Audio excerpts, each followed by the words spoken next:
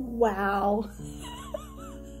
I didn't realize I was so showing so much. Hold on. Hi, I'm Sean, Melanoma Mom. I'm here to save you from bad purchases. Now you may disagree with me on some of these, that's okay. Or you may have sunscreens to add to my list. Feel free to do both in the comment sections down below. I'm helping my sister move tomorrow, so uh, and my birthday's next week, so I've stayed in a in a hotel. And as the sun goes down, I'll show you the sunset in just a little bit. Okay. First warning label: 1990s wants their SPF back. These are sunscreens that are super white, but from back in the 90s. They have the worst white cast. For example, Aveeno sensitive baby. Oh my goodness. They're also thick too. Basically, the majority of mineral baby SPFs I've noticed. Do sunscreen companies hate babies? Because why do they give them the thick white pa pasty sunscreens? I don't know. Also, Babo Botanicals, Sunstick. This one, this one right here. No, no. 1990s called, they want their SPF back. Number two, universal tint. That is not actually universal.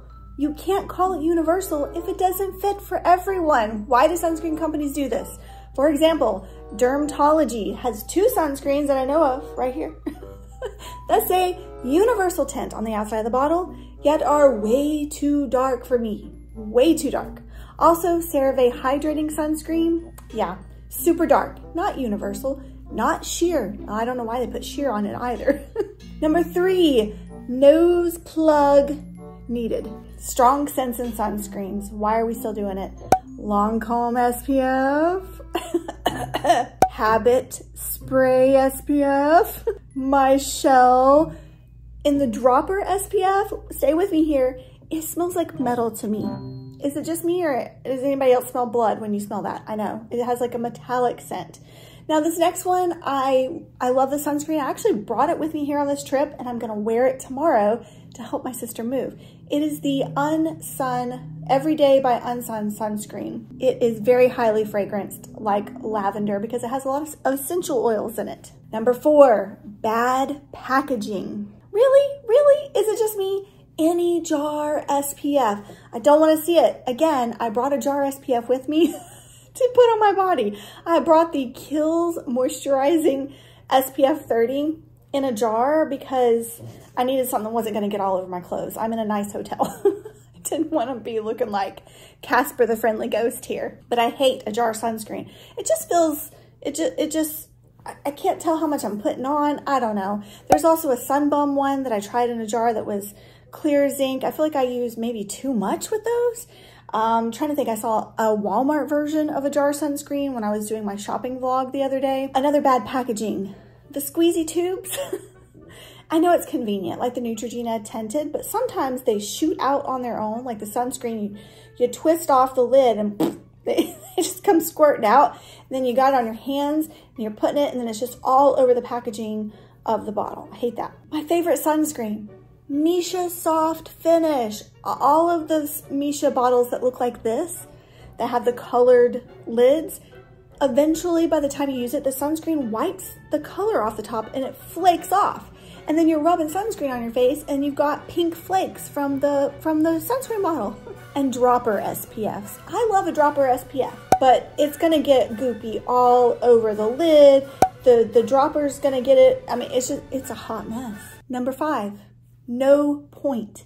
There's no point to these sunscreens having SPF in them. There's no point to products having SPF. Any product that has less than SPF 30 in it. And I'm talking foundations, I'm talking sunscreen oils, I'm talking just regular SPF 15 sunscreens. There's literally no point to those. You may disagree with me, but anything less than a 30, don't, don't bother putting it in. Number six, bad influence. These are sunscreens that encourage tanning and deceive with a low SPF. For example, tanning oils. Anytime you find sunscreens or in the sun care section of every website, they include the tanning oils that might have SPF of four. there's, They're, they're a bad influence. They tell people, hey, you can get a tan and also protect your skin from the sun at the same time. But it, it doesn't work that way. Number seven, Oompa Loompa. Do I need to say more? Tinted SPFs that are actually orange on your skin. For example, the CeraVe Hydrating SPF does that for me. I'm orange. I'm just an Oompa Loompa walking around. I might as well be in the Willy Wonka movie. And number eight, Grogu Green.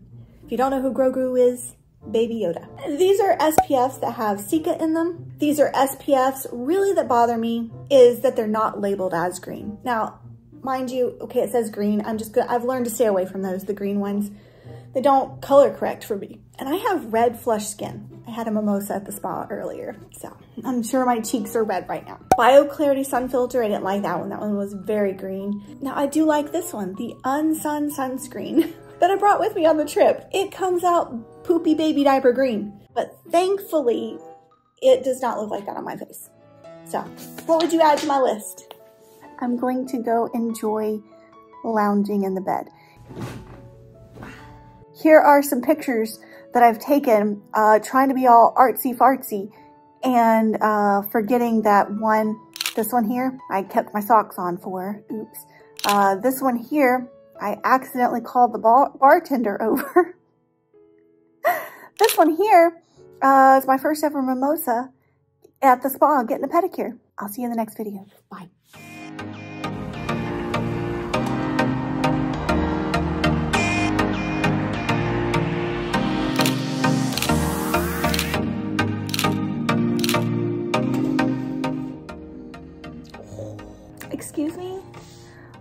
Waffles.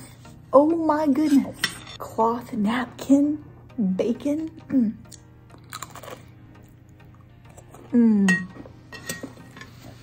Mmm, mmm, mmm, mmm, mmm. Mmm, mmm, mmm, mmm, mmm.